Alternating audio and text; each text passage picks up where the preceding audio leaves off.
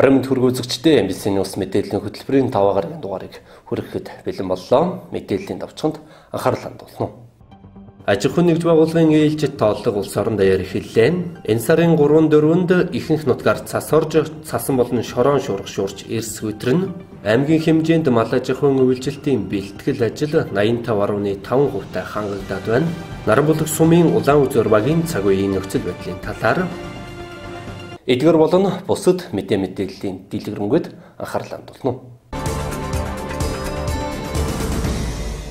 Эхний мэдээ аж ахуйн нэгж байгууллагын ээлжид тооллого өнөөдөр улс орон даяар эхэллээ. Энэ удаагийн тооллогод 2021 оны 11-р сарын 1-ний өдрөөс өмнө үсгэн байгуулагдсан өмчийн бүх хэлбэрийн аж ахуйн нэгжүүд болон хуваарай хөдөлмөр эрхлэгчид хамраг тухам Увс аймгийн тооллогын нээлттэй аймгийн цэцэг даргын тамгын газарт болж аймгийн тооллогын комиссийн дарга гишүүд аж ахуй нэгж байгууллага болон хуваарай хөдөлмөр эрхлэгчдийн төлөөлөл хэвлэл мэдээллийн байгууллагууд оролцлоо.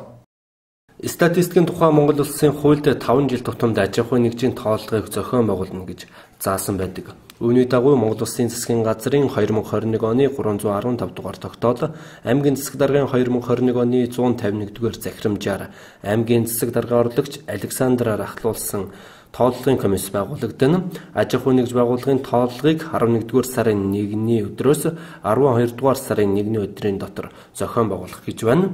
Өмнөх жилийн тооллогуудад зөвхөн аж ахуй нэгж байгууллагыг хамруулдаг байсан бол энэ удаагийн тооллогод хуваарай хөдөлмөр эрхлэгч нарыг нэмж хамруулах юм. Энэхүү тооллогын хувьд аж ахуй нэгж байгууллага хуваарай хөдөлмөр эрхлэгч нарын тоог гаргах биш Аж холбогдлын хувьд маш их Монгол улсын эдийн засгийн тооллого цогц судалгаа гэж ойлгох шаардлагатайг анхааруулж байна.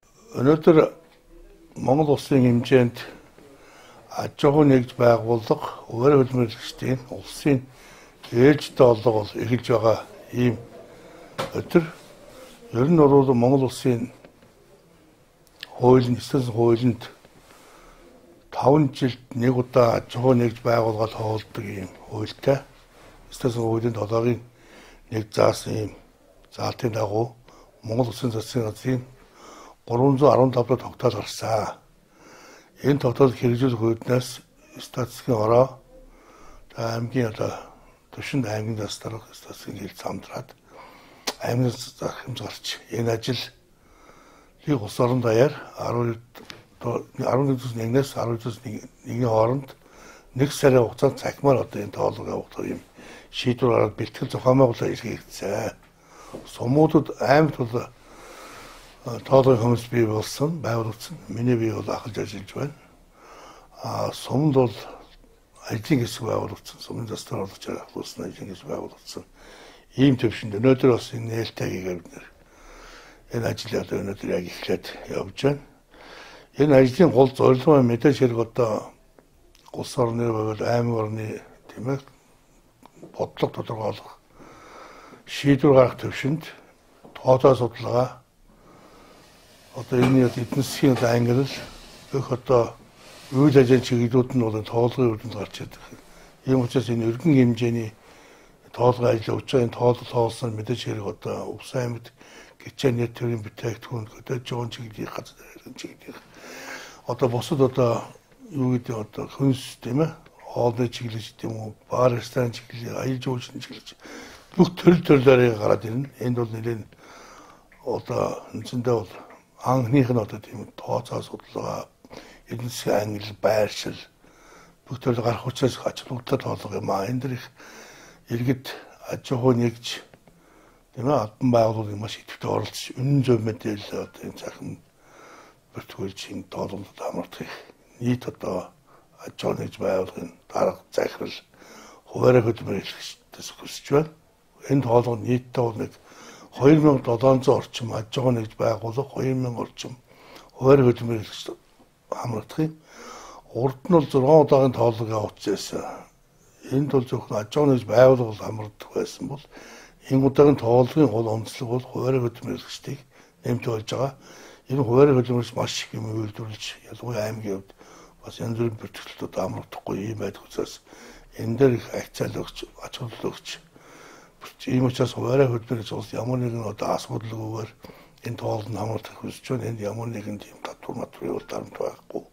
айлбал бид хийж байгаа үйлдвэрлэж байгаа юм энэ бодтой одоо тийм ээ тоолох ийм шаардлагатай учраас энэ дэр бол сургууль сурчлага статистик хэлцээ зохион байгуулж энэ дээр мөн анхаарч энэ нэг сарын хугацаанд богино хугацаа өргөн далаастай ажил байгаа учраас энэ дээр бол одоо телевизийнх нь энэ одоо сурчлагын байгууллага тэгээд иргэд аж ахуй нэгж юм дарга нар тоолын хүмүүсийн гишүүд бүгд одоо идэвхтэй оролцохыг бол уриалж байна. Тоолгон үр дүнгээс ковидын дараах нөхцөл байдлын бодлогыг тодорхойлох хууль эрх зүйн шин бодлогын баримт бичиг гаргахад шаардлагатай мэдээллүүд гарах юм а. За манай Монгол улс орон даяар бол одоо үндсэн статистикийн хорооноос аж ахуй нэгж байгууллага болон хувийн хөдөлмөр эрхлэгчдийн тоолгыг бол одоо манай үндсэн статистикийн хорооны дарга бол аль биесээр нээлттэй хийж улс орон даяар бол эхлүүлээ. За манай Увс аймагт бол тоолгын комиссийн гишүүд дарга тийм ээ мөн аж ахуй нэгж байгууллагын төлөөлөл хувийн хөдөлмөр эрхлэгчдийн төлөөлөл маань бас төрийн бас байгууллагын төлөөллүүд маань хамтарч одоо аймгийнхаа одоо аж ахуй нэгж байгууллага хувийн хөдөлмөр эрхлэгчдийн тоолгыг ажлыг бол одоо хамтдаа эхлүүллээ. Нийтдээ бол одоо хүрээгээр бол 2700 гаруй аж ахуй нэгж байгууллага 2000-аад одоо хувийн хөдөлмөр эрхлэгчдийг бол бид бүхэн одоо аймаг орон нутгийнхаа тоолгын комиссуудтай хамтраад захимаар энэ хүм иргэдээ бол одоо хамруулах зорилготойгоор л ажиллаж байна. Өнөөдөр ингээд тоолох ажил маань бол аль биесээр эхэлж байна. За аж ахуй нэгж байгууллага дээрээ хувийн хөдөлмөр эрхлэгчээ одоо нэмэгдүүлснээрээ бид бүхэн нийтдээ одоо яг эдийн засгийн цогцоор ийм том тоолгыг одоо зохион байгуулж байна гэж одоо улсын хэмжээнд бол нэрлэгдэж ингэж явж байгаа юм тооллого байгаа. Тэгээ өнөөдөр бол одоо бид бүхэн аль биесээр тооллынхоо нийлтийн үйл ажиллагааг явуулаад а дээр нь энэ аж ахуй нэгж байгууллагын төлөөлөл хувийн хөдөлмөр эрхлэгчдийн төлөөлөл манаас өнөөдөр энд мэдээлэл бас энэ дээрээс ингээд оруулаад бас яг ингээд тоолгын ажлыг бас эхлүүллээ. За орон нутгийн аймаг орон нутгийн тоолгын комиссийн маань бол хамтдаа бас энэ сургалт сурчлагын ажлуудыг бас маш сайн хэрэгжүүлж хийж хөгжүүлж явахаар байгаа.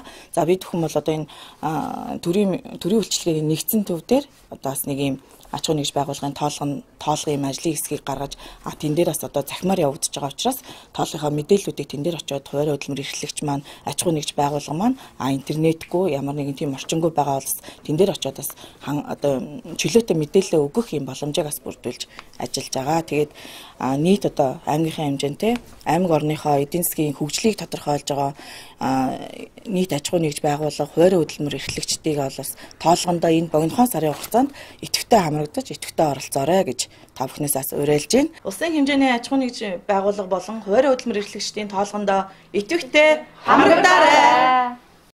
Улсын бүртгэлийн хуулийн этгээдийн бүртгэлд бүртгэлтэй хариуцлагын бүхий л хэлбэрийн аж ахуйн нэгж байгууллага, хувьцаат компани, төрийн байгууллага, төрийн бус байгууллага гэх мэт үйл ажиллагаа ямар ч төлөвтэй байсан үйл ажиллагаа явуулж байгаа төр зогссон, бүрэн зогссон гэх мэт мөн хуваарай хөдөлмөр эрхлэгч нар хуулийн дагуу явагддаг ээлжит тоолгондоо тооллого цэг 12 12 цэг имэн цахим хуудасаар хамрагдах шаардлагатай юм а.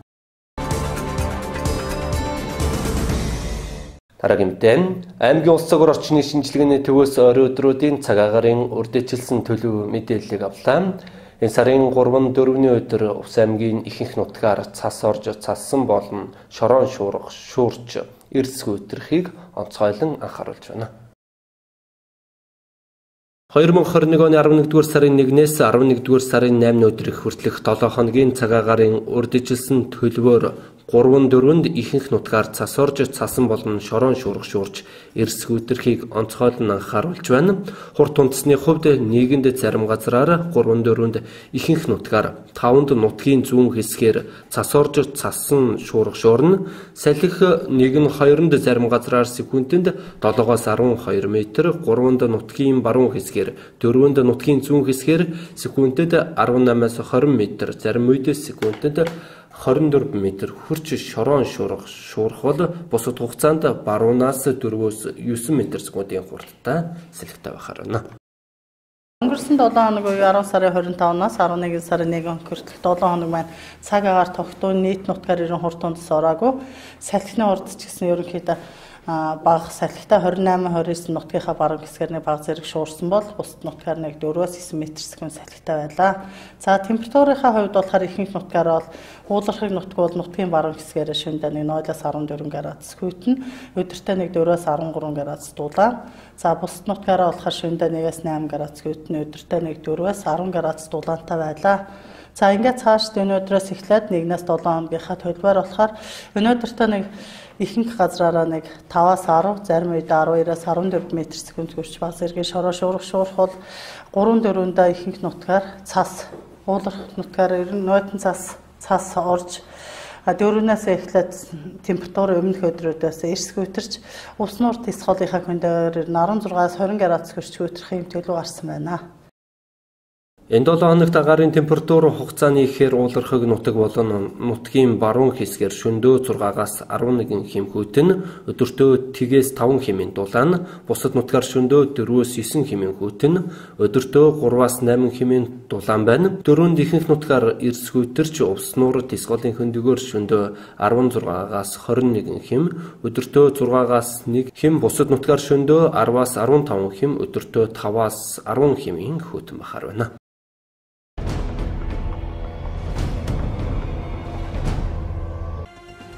Их эзэн Чингис хааны мэндэлсний 859 жилийн ой 11-р сарын 5-нд тохиож байна.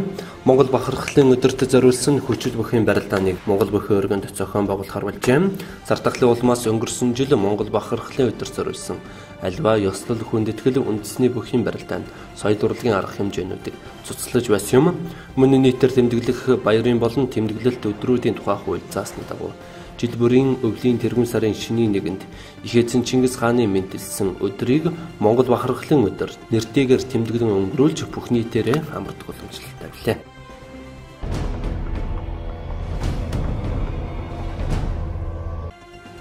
Зардахлын үед эхийн эндэгдэл сүүлийн 2 жилд нэмэгдсэн байна.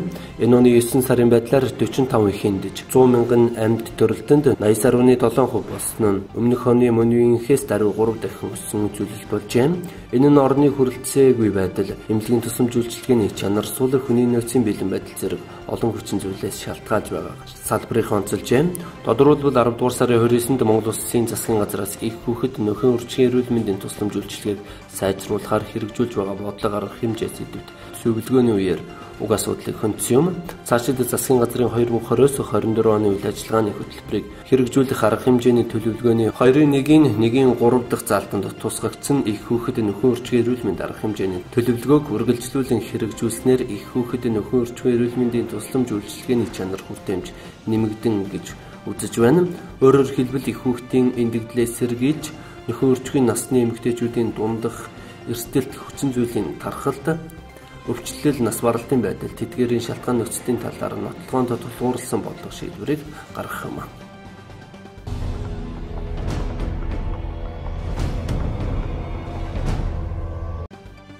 Урлаг соёл спортын үйл ажиллагааг танхимын 50% дүргэлтэйгээр нээх засгийн газрын шийдвэр өнөөдрөөс хэрэгжиж эхэллээ. Тодорхойлбол засгийн газрын өнгөрсөн сарын 27 оны хуралдаанаар дээрх шийдвэрийг гаргасан юм. Мөн үеэр гадаад улс орнуудтай хийх нислэгээ нээж тогтворжуулахыг холбогдох сайд нарт үүрэг болгосон билээ.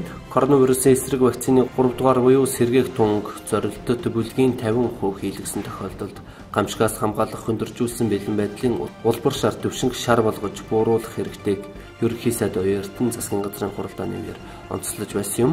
Өчигдрийн байдлаар нийт хүн намын 69.3% нь 1-р 65.8% нь 2 дугаар тунд хамрагдаад байна. Харин 3 дугаар тунг 18-аас дээш насныханд хийж байгаа бөгөөд 414276 иргэн хамрагджээ. Дашрам дуртагд засгийн газраас төрийн байгууллагуудыг шинэ жилийн баяр тэмдэглэхийг хориглоод байгаа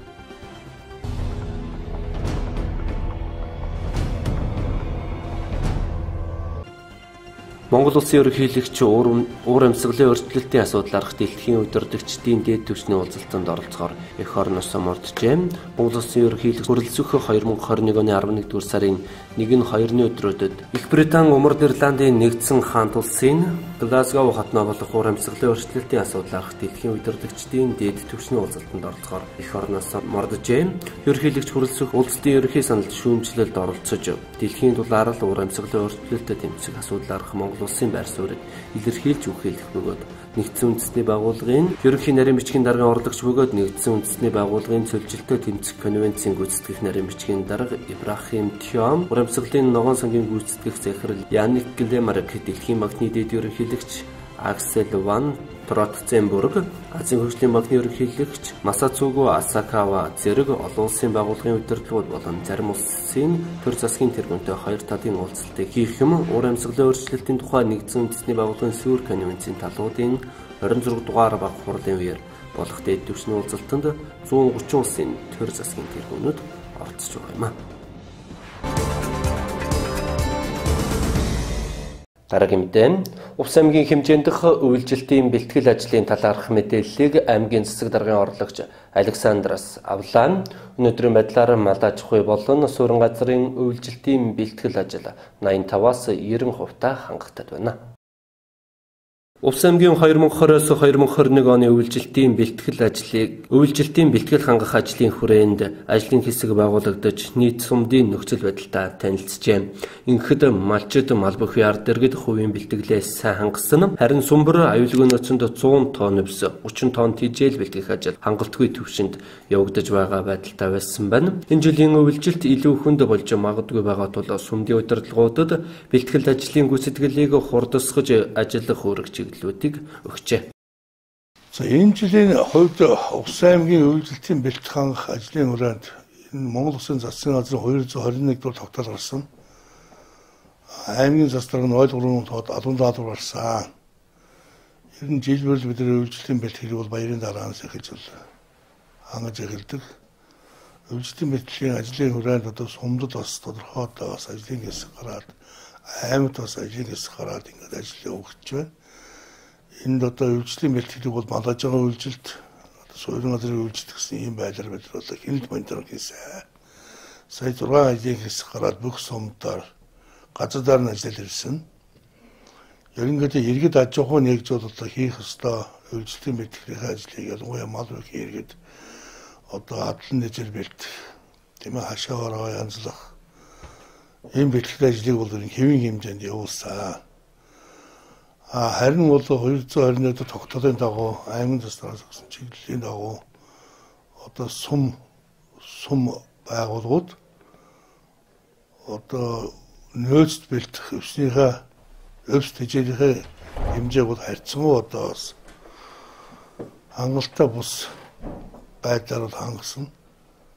Энэ мэдээллийг бид сая одоо өнгөрсөн 4 5 дахь өдөр бүх сумдын дараа нар хамгийн газрын дараа нарыг дуучлаа сургууль семинар өгөөд төлж байгаа хугацаанд тэр улсын төсвийн одоо мөнгөөр бэлтэх сум бүхний 100 тонн өвс 30 тонн тэжээл нөөц бэлдсэн байх хэвээр. Энийг одоо үүсэж бэлдээрээ энэ 40% тавьж байгаа юм аа. А иргэд аж ахуйн нэгж байгууллагууд бол бэлтгэх хэвээр өвстэй жилийн нөөцгөө сайн бэлдсэн. 90% та бэлдсэн аймгийн хувьд бол яг өнөөдөр аймгийн нөөцтөр 400 тонн өвс бэлдсэн байна. А тэжээлийн хувьд бол бид нэр одоо ингээд тэрэнд зарлцсан нэг 100 200 тонн өвс 100 тонн тэжээл бэлтгэр 200 сая төгрөгийн тэрэнд зарлцсан ингээд аймаг бол бас зөв төвшөндөө юм бэлдээ нэг явж байгаа. Нийт одоо малажин үйлдэл бэлтгэр бол нэг 85 орны 5% таа гэсэн юм үрдүнтэй байна. Үлдэж байгаа энэ хугацаанд бид нар бас энэ дээр анхаарах хэрэгтэй. Ягаад гэвэл 11 дугаар сард бол урд урд жилээс илүү урд улс орно гэсэн ийм тооцоололтой. Бид нар сая сургууль семинарыг явууллаа. Аа малажуун дугад юм байна. Аа суурин газрын үйлчлэлтийн бэлтгэл ялангуяа одоо манай сумууд бол бүх сумууд бол концессийн гэрээгээр өөрийн суухны газрууд нь бол одоо энэ зөндөө хувьд шилжээд хувийн одоо аж ахуйн нэгжүүд гүйцэтгэж байгаа. Ийм учраас энэ нийтдээ бол нэг 26 байршилд 23 аж ахуйн нэгж тусгай зөвшөөрөл аваад энэ ажлыг энэ дээр бол сумын засаг дарга, аймгийн засаг дарга тэр одоо өөрөө зөв хариуцж байгаа компани гурвалсан гэрээгээр бол энэ ажлууд явагдаж байгаа.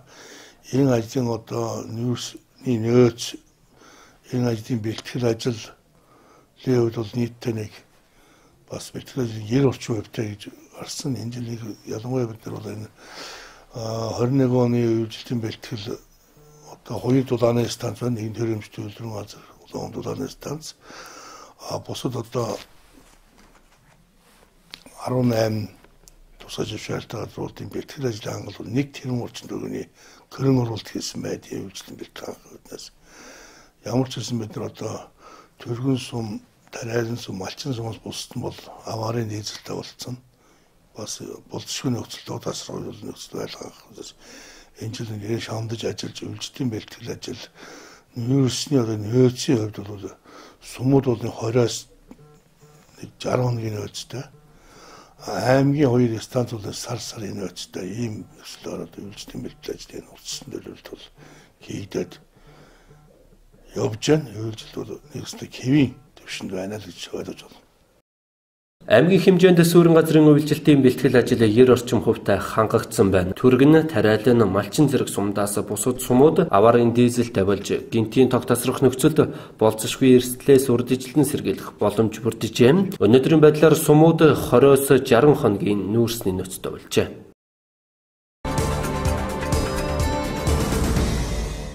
Дараагийн мэдээ Манай телевизийн сурвалжлах баг Наранбулаг сумын улаан үзүүр багт ажиллалаа.